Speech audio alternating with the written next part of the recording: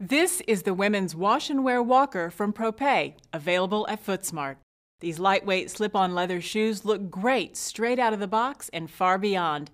They're designed for easy cleaning with a quick spin in the washer and an air dry so they'll stay looking like new longer. They're the perfect shoe to slip on when you go for a walk. Inside, your feet are supported thanks to the construction of the insole. This insole is also removable to accommodate orthotics for a fit just right for your foot.